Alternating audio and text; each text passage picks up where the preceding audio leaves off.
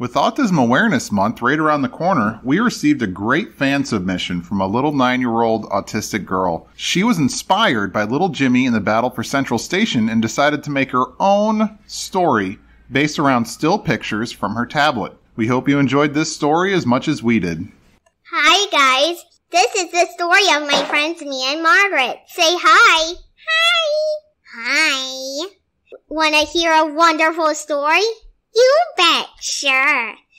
And once upon a time, Lego minifigures were being captured by, by, by ho- horrible soldiers.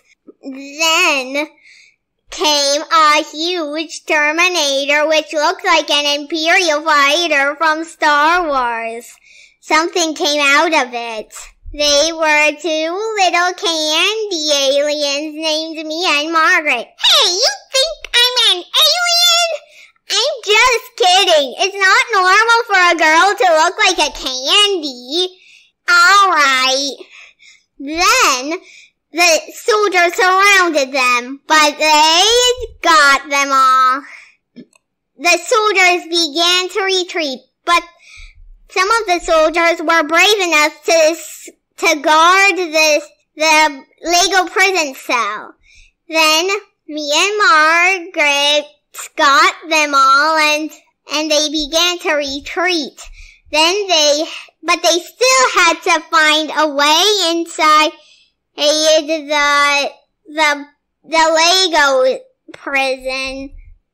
They, the door was locked, but Mia tried to open the window and and it opened easily. It's a good thing they didn't think to lock the window, said Margret. Margret, give me a boost, said Mia. They got inside the, the, the, the Legos prison cell and all the Legos were freed.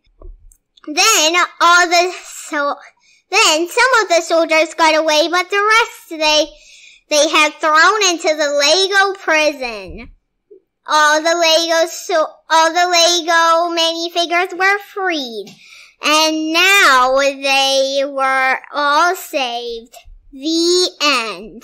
Did you like the story, Amy and Margret? It was fun. So adventurous. Say bye, everyone. Goodbye. Goodbye. Bye, guys.